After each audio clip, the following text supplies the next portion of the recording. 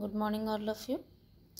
In the last class, we have completed the coagulation process of purification. And today, we will discuss about the next purification process that is filtration.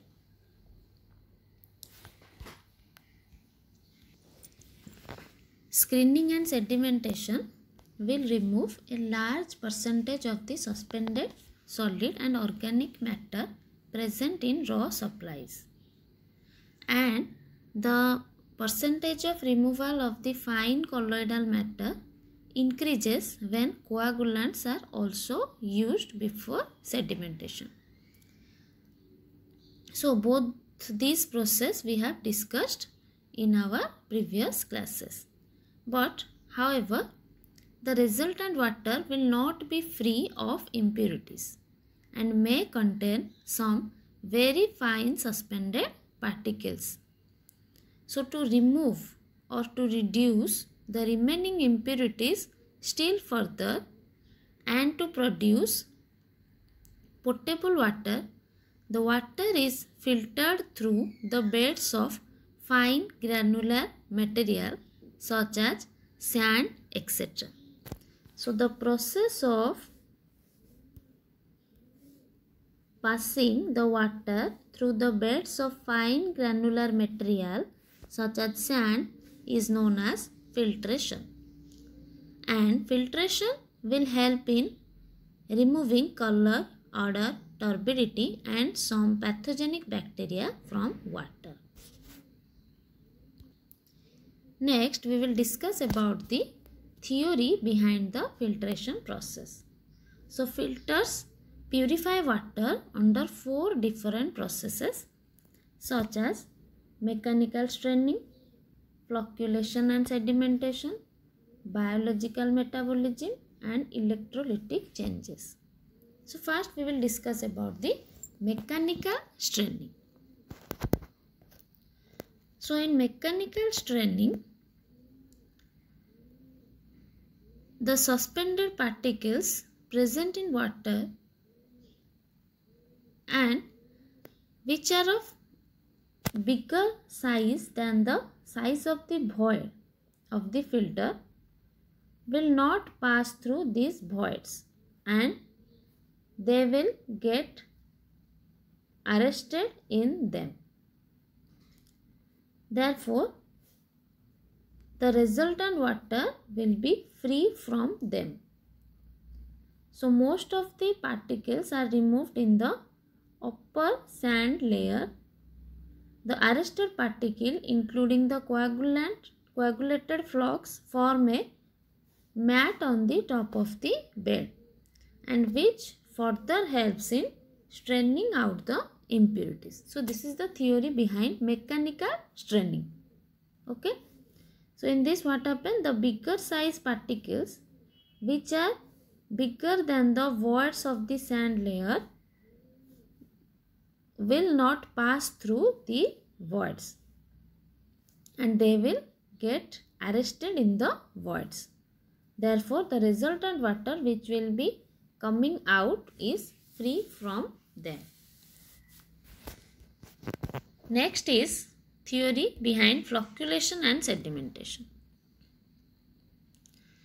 So, it has been found that the filters are able to remove even particles of size which are smaller than the size of the voids. How?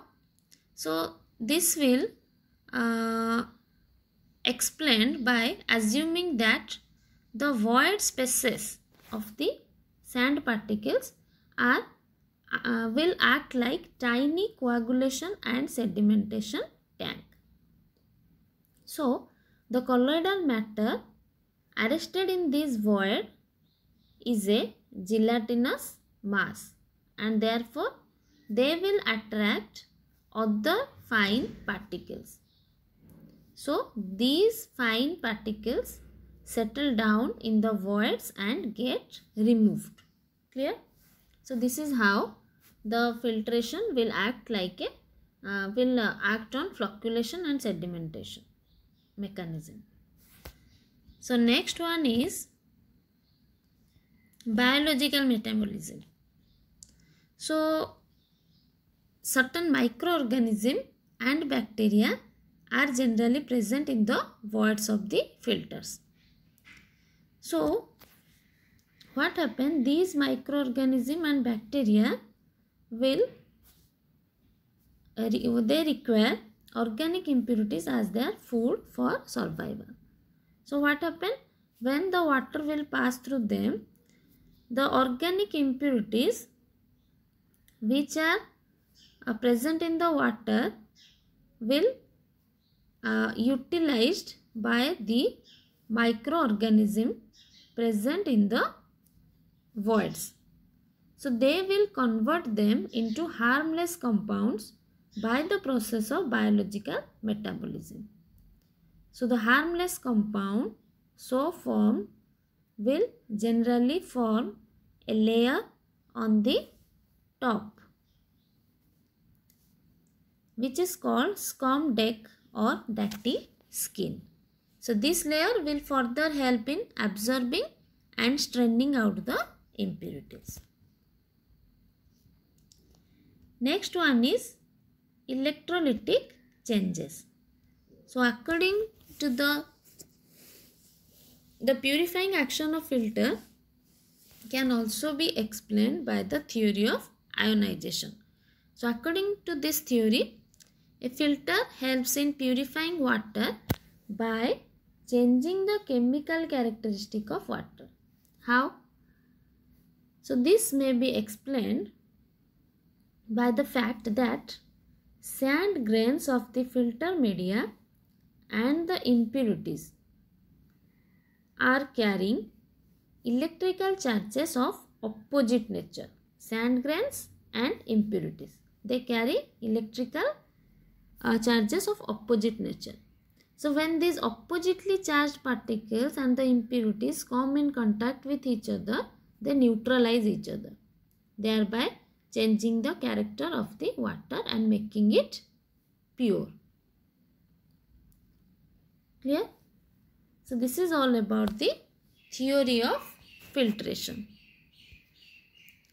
Next we will discuss about the types of filter. So there are mainly three different types of filter. One is slow sand filter. Second one is rapid gravity filter. Third one is pressure filter. So first we will discuss about slow sand filters. So there are different parts are present in slow sand filter such as enclosure tank, filter media, base material, under drainage system, inlet and outlet arrangement. So we will discuss in brief about these parts. So this is the section of a slow sand filter. So first we will discuss about the enclosure tank. So enclosure tank it is an open air watertight rectangular tank made up of masonry or concrete. The bed slope of this tank is kept at about 1 in 100. Okay, this is the rectangular tank you can see here. So this is uh, made at a slope of 1 in 100. So the depth of the tank varies from 2.5 to 3.5 meter and the plan area of the tank varies from varies from 100 to 2000 square meter okay. So this is the depth 2.5 meter to 3.5 meter and the plan area will vary from 100 to 2000 square meter. Okay. So next one is so this is about your enclosure tank. So next part is your filter media. So filter media consists of sand layer. You can see here this is the layer of sand. So this filter media consists of sand layer about 90 to 110 centimeter in depth. So the depth varies from 90 centimeter to 110 centimeter and it is placed over a gravel support. So this one is the gravel. See here 30 centimeter to 60 centimeter gravel. So it support on it rest on a gravel support. And the effective size of the sand varies from 1.8 to 2.5 and the top layer top 15 centimeter layer of the sand is generally kept of finer variety than that of the rest. Okay? So uh, if we will use different gradation of sand then the coarsest layer which consists of coarse sand should be placed near the bottom and the finest towards the top. Because the finer the sand used the purer will be the obtained water. And as more bacteria and impurities can be removed.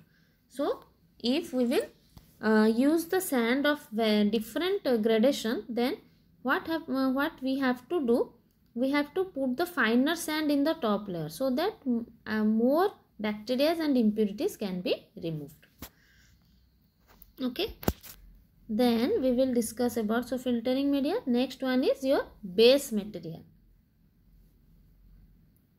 So see here, your base material is gravel. This one is the base material. Okay. So the base material is gravel and it supports the sand. It consists of 30 to 75 centimeter thick gravels of different size. 30 to 75 centimeter thick gravel of different size. Generally 3 to 4 layers are used. The coarsest gravel is used at the bottommost layer and the finest gravel used in the topmost layer. As we have discussed in filter media that the finest sand will place in the top layer and the coarsest sand will placed at the bottom. Similar is the case here.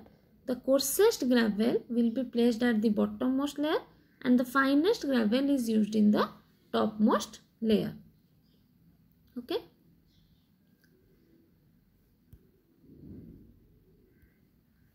So coarsest gravel is used in the bottommost layer and finest gravel is used in the topmost layer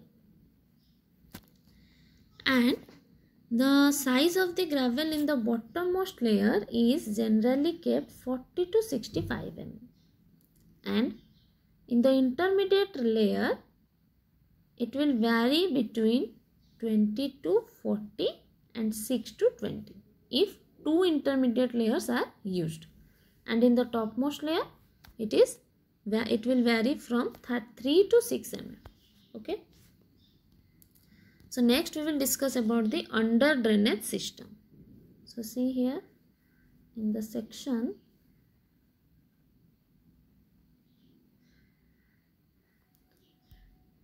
so this one is the under drainage system. This is the main drain. Okay main central drain. And these are the under drains coming from both side which are discharged into the main central drain. So this is the under drainage system. And also here you can see the plan of this under drainage system. So this one is the inlet chamber from where water enters. And this is the main drain.